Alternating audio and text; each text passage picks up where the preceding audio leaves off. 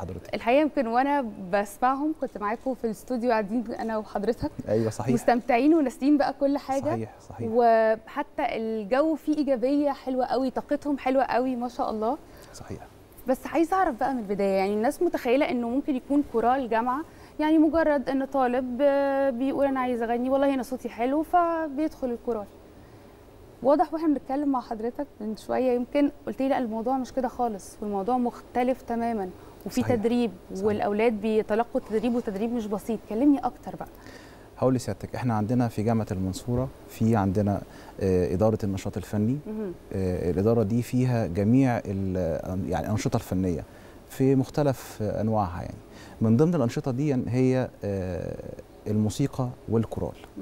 فالموسيقى والكورال عندنا في اتنين مايسترو في مايسترو بيدرب الموسيقى وفي مايسترو بيقوم بتدريب الكورال وهو أستاذي الدكتور ضياء عبد الكريم طبعا إحنا بنعمل مسابقة في بداية العام الدراسي آه، وبنعلن عنها في كل الكليات. وطبعا بيكون فيه اهتمام بالغ جدا بالمسابقة دي تمام؟ وبعد كده بيبدأ ينضم للمسابقة دي. طلبة بيسجلوا أسمائهم ويجوا عندنا نسمع الأصوات.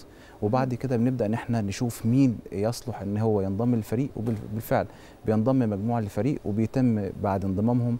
طبعا عمل آه، خطة آه، بتبقى مسبقة إحنا حاطينها من بداية العام الدراسي. إزاي هيتم عمل البروفات؟ مع الاحتفاظ برضو بدراستهم. طبعاً، يعني الموضوع أكيد. ما يجيش على برضو دراستهم تمام؟ وفي نفس الوقت بنتعامل مع الموسيقى إن هي طاقة وفي نفس الوقت يعني آه، آه، مكان آه، ومتنفس للطالب يقدر إن هو فيه يطلع يعني ويبرز موهبته في مكان بيتم إدارته بصورة مستنيرة فيها طبعا يعني قواعد وأسس علمية طبعا مش عشوائية. اطلاقا. وبنعمل ورش طبعا مختلفة بنعمل بروفات بشكل مستمر. وفي طبعا الولاد في فريق الموسيقى بيتعمل لهم طبعا بياخدوا دورات في قراءة النوتة. يعني مثلا بيجي لي طالب في كلية الطب أو في كلية الآداب. مش بشتغل معاهم بال- بالشكل اللي هو ممكن يعني إيه اللي هم بيسموه بالشكل اللي هو الشائع آه، بيطلع بودنه سماعي لا.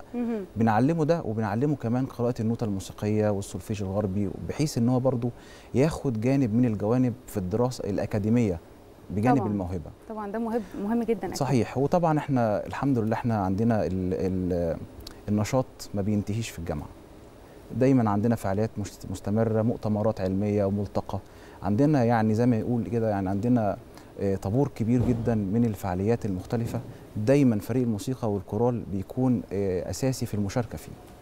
وزي ما حضرتك قلت في البداية بيعملوا أجواء جميلة جدا جدا القوى. الناعمه يعني دايما بتكون مهمة جدا وإدارة ال- الموهبة أهم من الموهبة الموهبة مهمة بس إدارة الموهبة بكل فالجامعات ده, ده طبعا آه ده صحيح أكيد. يعني فالجامعة وكل جامعات طبعا بتبقى مهتمة جدا جدا بإدارة الموهبة.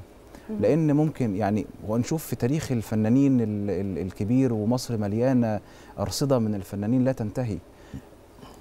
كتير منهم آه، كان في دور كبير جدا وتأثير مهم جدا من دخولهم في ال- الفرق الجامعية. كان في المسرح أو في الموسيقى أو في الغناء.